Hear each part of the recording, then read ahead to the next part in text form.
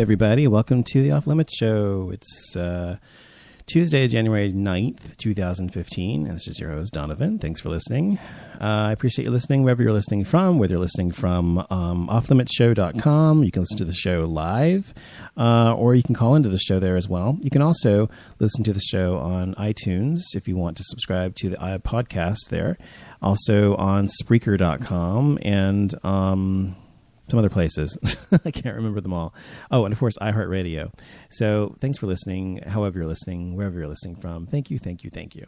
Uh, I've been off for two weeks. I was going to do a show um, on Sunday on my actual birthday, um, but I was, of course, busy the, over the weekend, quite busy. And um, today's the first day I've had time to actually sit down and actually do the show. So I'm doing the show today on being 40.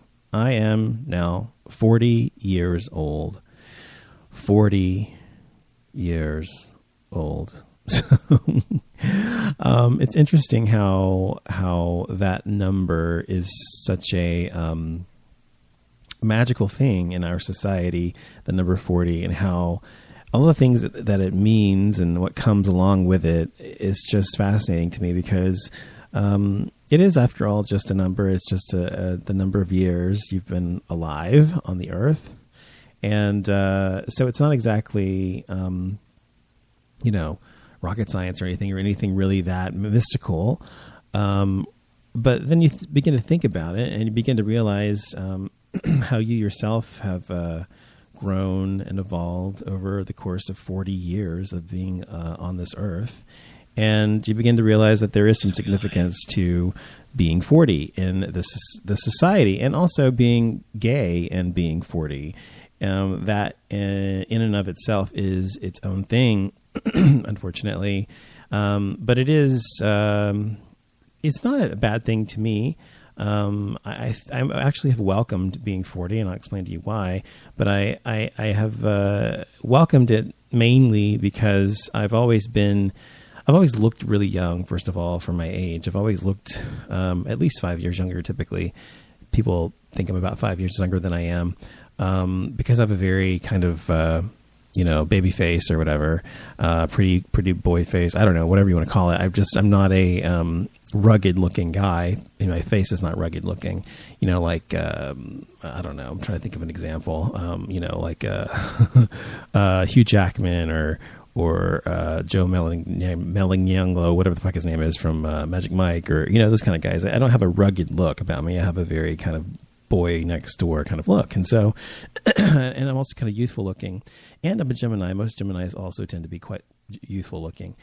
So I think it is. Uh, um, as I've always been that way all of my life throughout, you know, um, history, and I have realized and recognized that people tend to attribute certain uh, things to you uh, when you look a certain way. Of course, that's anyone, I think. But uh, when you when you look boyish or boy next door or whatever, people tend to think you're innocent and sweet and kind and whatever. And and yeah, I kind of am those things in some way. Not really innocent, but but I am kind and I am a sweet guy or whatever. As long as you don't cross me, right?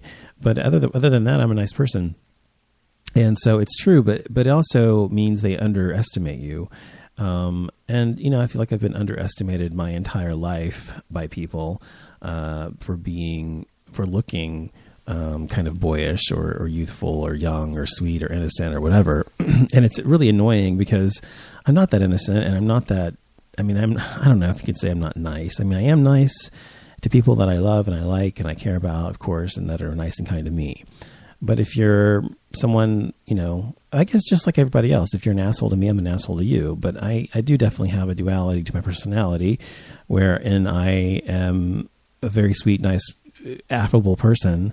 Uh, until you fuck me over, then I'm the uh, complete opposite of that. So my point is, people often underestimate you, and it can be a plus and a positive to some degree because people think that you're you're you're a pushover, or or they can walk all over you, or you're a wallflower, and they think that that makes you um, easy to manipulate. And I've never been that. I'm actually just the opposite of that. I'm someone who doesn't like to be told what to do. I'm someone who is very independent in terms of thinking and, and, and doing what I want to do. And I, I just am not that way. So be, living my entire life that way, I've always looked forward to being over 40 when maybe I would look old enough to be to be respected, and us actually be respected enough to, that people would understand that I've lived a life long enough to actually know what the fuck I'm talking about. And so I wanted to talk tonight on tonight's show about some of the things and life lessons I've learned over the past 40 years. Um, you know, I could write a book about this and perhaps I am. Uh, but I, I just wanted to go through some bullet points of things I, I thought about and thought that I might give as advice to listeners listening, gay, straight, bi, transgender, or otherwise, uh, listening to the show, who might be able to garner some sort of um, some sageness from what my wisdom from what I've uh, learned in life. So um, here are the things I wrote down. Number one, life is a roller coaster ride. I mean, this is an obvious one to most people, but some people don't actually think about what that means.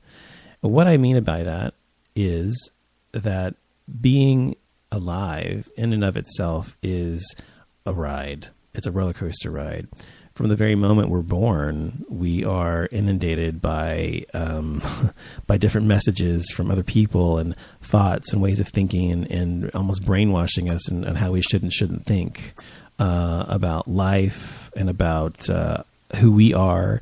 Messages telling us who and what we are, what we should be, and you know, life is full filled with ups and downs. It's filled with left turns and right turns. It's filled with not knowing what's around the corner. So that's that's why I say it's like a roller coaster ride. It is a ride, and people often want their lives to be placid and easy, and unfortunately, that's not how life is. It is not a easy ride. Um, it is a um, a bumpy ride, and as uh, Bette Davis said, you know, and uh, prepare yourself for a bumpy night. She said, but it is a bumpy ride, life, and it is a um, something that you have to remember that will always have its ups and downs. So when you're in your deepest doldrums and of darkness and sadness and and, and loneliness and and uh, despair and desolation, when you feel that um, that sadness that, that, we all go through for one reason or another throughout our lifetime. No one is always happy, and if they are, they're fucking insane or they're complete they're complete moron um, because it's not a complex individual. A human being a sentient human being does not have a life filled with happiness 100% of the time. It's just not possible unless like as i said you're a complete moron. Um, so because that's the, the way it is you have to recognize when you're in those situations and i've learned this you know throughout my life that there will be a uh, a light at the end of the tunnel. There always is. There's always when you're down the low point, you're always going to see your fight rise up again and come back to the high point again. It's always ups and downs, ups and downs, ups and downs. And even when life is good, it has its ups and downs. It has its good times, its bad times. There's an ebb and a flow. It's just just not a flat, easy thing. So to one of the things I would say advice wise is to not expect your life to be easy, not expect it to ever be easy, not expect anything to be easy, because primarily, I mean, mostly you'll be disappointed in life if you do. If you expect your life to be this simple ride, uh, and and to, to, expect that things are going to be handed to you or given to you, or to have this sense of entitlement, which which unfortunately uh, seems to be a huge um, problem in the millennial generation these days, and, and to some degree the Generation X that I'm part of, but uh, X, Y, and X, Y, and uh, Z or millennial generation, they are all sort of um, mostly the Y's and the Z's are very have a huge sense of entitlement that they should just get what they want to get in life, and no matter what, it should just come to them because they're here. And it's a sad and hard wake up call when you recognize in your 20s and your 30s, whenever you recognize it, or if you're in your 40s, if you're too late to recognize it, um, that life is doesn't owe you fucking a fucking thing. People in this world are out for themselves. All of us are. We're out to make our own lives happy and and to succeed in whatever it is we're doing. And no one is looking out for you but you even when it comes to your parents, your friends, your lovers, whatever, there's always going to be, the, in the end, just yourself. So, and that's the other thing I was going to say is that in the end, the, the point two is going to be that um, ultimately we're all just alone. It's just us by ourselves.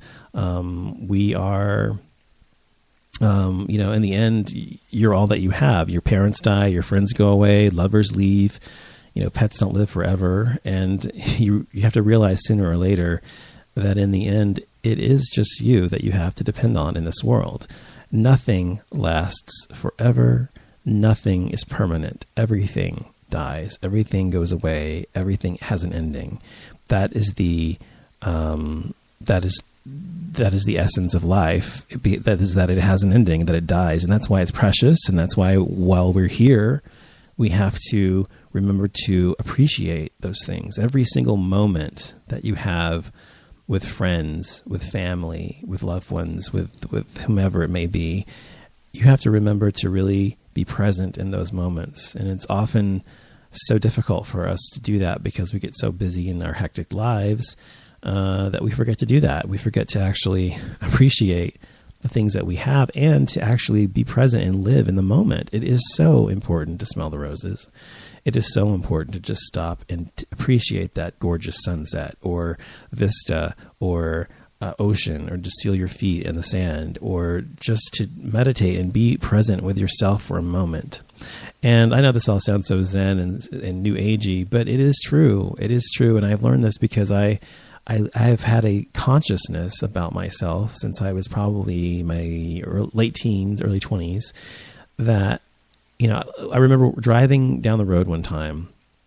I mean, I have a really long memory. I don't, I'm sure I've told you that on the show before. My memory is very long. I remember the weirdest things, and um, I don't know why, but I have a very, very good long memory, long term memory. And I remember driving down the road coming from a boyfriend's house I was with at the time when I was 21, I think, 2021. and uh, I was working in a job I liked. I was uh, in college. I had a boyfriend I loved or liked anyway. Uh, I had peace with my family. I was I had good friendships. I, I, had everything I ever wanted, and I recognized in that exact moment, driving down the road, I can remember this as a night, thinking to myself, "Wow, I have everything I want. I have a reason to be happy." And I sat there. I mean, in the car on the way home, um, appreciative of what I had at that time in my life. And I knew and even said to myself, well, it won't last, but I'm going to appreciate it while it does. And it lasted for probably another two weeks before I found out the guy I was dating was, had cheated on me. So, um, I, you know, I was, I was, um, I was happy for that that moment. And so my point is to take the time to appreciate the things you have when you have them, and to actually um, live in the moment because it's so important that we do. The other thing I was going to say, another thing is that um, is that you know I'm not as no, as old as as 40 sounds, and and I'm not as young as I thought I was. You know, so 40 is weird because you are you know officially at the end of your youth or whatever. I don't know who determined when your youth ends, but um, in terms of the lifespan of most human beings, most human beings, most males live to their, their 80s or so on average. So that would be mean I'm in my mid, the very middle of my life. I've lived half my life, and